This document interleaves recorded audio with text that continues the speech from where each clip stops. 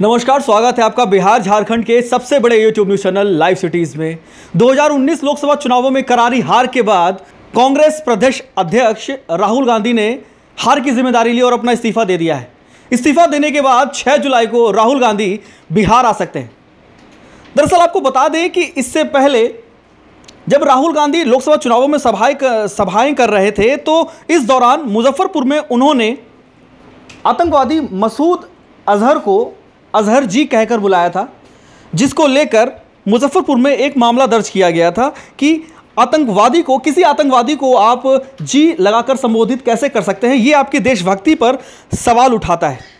वहीं ऐसा माना जा रहा है कि मुजफ्फरपुर में जब अगर वो पेश होने के लिए आते हैं तो कहीं ना कहीं एस के एम सी एच का भी दौरा कर सकते हैं, क्योंकि पिछले दिनों मुजफ्फरपुर में चमकी बुखार से लगभग डेढ़ सौ से भी ज़्यादा बच्चों की मौत हो गई है।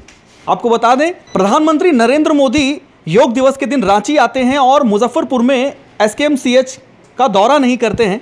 डेढ़ सौ बच्चों की जानें चली जाती हैं और वो योग करके वापस चले जाते हैं। लेकिन जब राहुल गांधी को 6 जुलाई को बिहार आने का जब मौका मिल रहा है, जब उन्हें कोर्ट में पेश होना है तो कहीं ना कहीं जब वो मुजफ्फरपुर आएँगे तो ये कोशिश कर सकते हैं कि एस में बच्चों को देखें जाकर उनका हाल चाल जाने।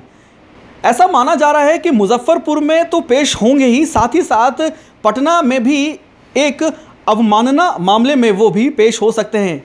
दरअसल, जब उन्होंने एक बयान दिया था कि देश के सारे पैसे लेके जाने वाले लोग मोदी ही क्यों होते हैं, उनका ये बयान था कि सारे मोदी चोर ही क्यों होते हैं और सारे मोदी पैसा लेके भागने वाले ही क्यों होते हैं तो इस बात पर सुशील मोदी, जो कि बिहार के उप मुख्यमंत्री भी हैं, उन्होंने संज्ञान लिया था और उन्होंने इस पर मामला दर्ज करवाया था। तो ऐसा माना जा रहा है कि जब वो 6 जुलाई को बिहार आएँगे तो मुजफ्फरपुर भी जा सकते हैं और पटना में भी वो पेश हो सकते हैं। तो कुल मिलाकर 6 जुलाई को राहुल गांधी बिहार आ रहे हैं और इस्तीफे के बाद वो पहली बार बिहार आ रहे हैं। इस बात की पुष्टि कांग्रेस प्रदेश अध्यक्ष मदन मोहन झा ने कर दी है। देखना दिलचस्प होगा कि जब वो 6 जुलाई को आते हैं तो राजनीति जो है, वो किस ओर करवट लेती है? महागठबंधन किस ओर करवट लेता है और कांग्रेस प्रदेश किस ओर करवट लेती है? देश, दुनिया, बिहार की हर छोटी बड़ी खबर के लिए आप बने रहें लाइव सिटीज़ के साथ। खबरों को विस्तार से पढ़ने के लिए लाइव सिटीज़ डॉट इन पर ज़रूर जाएँ। कैमरे के पीछे विकास हैं। धन्यवाद।